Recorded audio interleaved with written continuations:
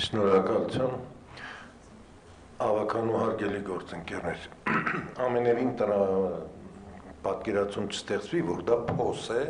եւ մենք թողել ենք 1 ամիս այդ փոսը չվերականգնված։ Դա փոս չէ։ Ողջաբերդ գետը մտնում է Երևան քաղաք ներողություն 13 կիլոմետր երկարությամբ։ Նրան միանում է ջրվեժը։ Այս երկու գետերը կամրջային թունելային կառուցվածքներով միանում են իրար ծաղկավաճառների գերեզմանոց տանող ծաղկավաճառների խանութի մոտ դուրս են գալիս Դավիթ Բեկը հատում Դավիթ Բեկի հատումից հետո Ռոստովյանով գալիս են կինո հայրենիքի խաչմերուկ շենքի բակում միանում գետար գետին եւ երեք գետերը գնում են հրազդան գետ Փլվածքը վերաբերում է թունելային կառուցվածքին Ողջաբերդ գետը 3 տեղով հատում է փողոց Նուբարաշեն փողոցը, Նորարեշի 50 փողոցը եւ երկու գետերը միասին Դավիթ բեկը ընդհանուր մոտ 200 մետր թունելային ծածկ ենթակառուցվածք է, որի միջով հոսում է գետը։ Խորությունը տեղ կա 9 մետր, տեղ կա 7, 6.5։ Փլված հատվածը 82 մետր է։ Այդ թունելի երկարությունը որը Դավիթ Բեկի փողոցն է հատում եւ որը ծառայում է որպես երթևեք ասֆալտ բետոնյա ծածկի տակ է պանելային հենապատային կառուցվածք է երկու պանել ծայրամասից փոխվել են տպավորություն է թե փոս է փոս չէ դա շատ վթարավտանգ երևույթ է Վահան քաղաքապետի հանձնարարությամբ մեկ չէ, երեք մասնագիտացված կառույց են իջեցրել թունել լավագույն մասնագետներին կարող եմ ասել հանրապետության եւ Երևանում գործող ավանդական կամրջաշինարարներ։ Երեքն էլ տվել են նույն եզրակացությունը, որ 82 մետր լայնքով այս թունելային հատվածը վթարավտանգ է։ Վնասված են բոլոր հեծան պանելները։ Քայքայված է հենապատը։ Եզրակացություններից մեկը գրավոր է, պաշտոնապես երկուսը բանավոր նորից կարող են ստորագրությամբ հաստատել եւ զեկուցել են պարոն քաղաքապետին, որ միանշանակ այստեղ պետք է գնալ կապիտալ վերակառուցման։ Կապիտալ մասնակի նորոգում պարոն Թորոսյան չի արդարացնի իրեն, այ քիչ առաջ ասում եք մի բան որ անում եք գլոբալ ուսումնասիրեք ամեն ինչ։ Այս դեպքը հենց այդ դեպքերից է, գլոբալ ուսումնասիրվել է ամեն ինչ եւ եզրակացությունը մեկն է ամենավթարայինը իջնող թևն է, որը հիմա արգելափակված է։ 82 բաներ պետք է փոխվի եւ ամբողջ հենապատը քայքայված է ուղակի։ Միջով գետն է հոսում, երկու գետ հոսում են դրա միջով։ Հետևապես պետք է կազմվի արագ արձագանքման ծրագիր, ինչը եւ արվեց պարոն Ավինյանի հանձնարարությամբ նույն օրը,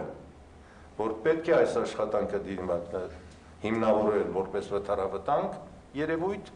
եւ անցնել մեկ անձի գնման ճանապարհով անետացքելի ֆինանսավորմամբ։ Ֆինանսավորման խնդիրը լուծված է։ Հիմա կազմվում են նախագծային լուծումները հենապատի ամրացման եւ հեծանները նորով փոխարինման։ Այնինչ արվել է ցեմենտ ավազ սվաղով, դա այլևս անթույլատրելի է։ Եթե մենք գնանք այդ ճանապարհով, մենք մի քանի տարի հետո կունենանք նույն վտարը։ Վանամյանի կողմից խնդիր է դրվել կապիտալ լուծել հարցը, որ տասնամյակներով այդ կառույցը մնա անվտանգ շահագործման։ Դրա համար փոխվում են նաև հենապատերը, հիմա տեխնոլոգիան թույլ է տալիս հավաքովի նոր արտադրված բազմոցի նման հենապատերով, որը լուծում է նաև տակի հատակի հարցը։ Գլոբալ ամբողջ հունը պատվում է նոր հենապատերով եւ նոր պանելներով։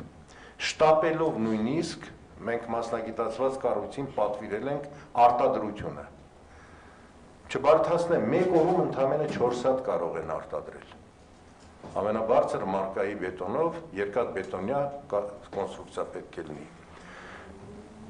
Մոտ օրերս մենք արդեն կավարտենք այս փաստաթղթավորումը, ճանապարհը կփակենք բարձր արկելապատերով, տեսանելի լուսային անդրադարձիչներով առաջին փուլը կսկսենք։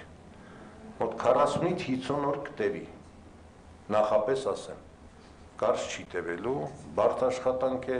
ամբողջը պետք է ապամոնտաժվի, հենապատերը կառուցվեն, նոր վրան տեղադրվեն պանելներ, հետո գա սեյսմիկ եզրակացություն վերջում, հետո նոր գա ասֆալտապատման աշխատանքներ։ Սա առիթ էր, որ նախորդ գործակարգավարական խորհրդակցության ժամանակ պարոն Ավինյանի կողմից տրվեց հանձնարարական մշակել տեխնիկական առաջադրանք շինբարեկարգման վարչության հետ, մեր հետ միասին պատվիրելու ուսումնասիրություն, սեյսմիկ ուսումնասիրություն Երևան քաղաքի բոլոր կամուրջների, ստորգետնյա անցումների, ուղետարների, ուղեանցերի, վերգետնյա անցումների եւ ջրատար համակարգի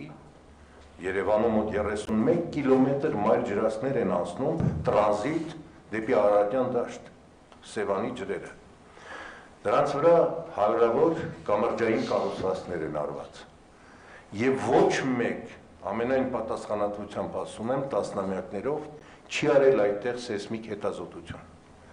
Ոչ մի երաշխիք ոչ մեկս չունենք, որ Արշակունյաց Բողոտայով անցնում է 3 կետ, թունելային կառուցվածքով, ինչ վիճակ է այդտեղ։ Այս ուսումնասիրությունը ցույց տվեց, որ 60-ական թվականներին կառուցված բոլոր այս կառույցները ենթակա են սեյսմիկ հետազոտության, հատկապես կամուրջները մենք ունենք 26 վերգետնյա անցում, 39 ստորգետնյա անցում, 42 կամուրջ։ Սա դեռ նախնականն է։ Սրա մեջ չեն մտնում գետերի ջրանցների վրա անցնող թունելային կառույցները։ Այս հիմա գրում ենք այդ տեխնիկական առաջադրանքը, կհայտարարենք մրցույթ 25 թվականի բյուջեում կունենանք ուսումնասիրության գումար, ուսումնասիրությունից հետո նոր կդիմենք մասնագիտացված կառույցին, որը ճարտարապետաշինարական համալսարանն է, ստեղծելու այդպիսի կառույցների անձնագիր։ Եթե չբացվեր Դավիթ Բեգը, մենք չգիտեինք տակը ինչ սարուժենի է, ինչ նյութ է։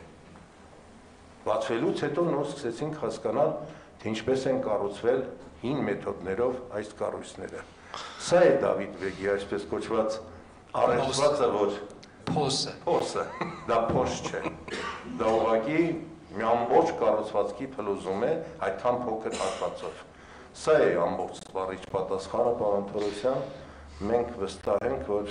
քաղաքապետի աջակցությամբ դա կանենք շատ արագ, որ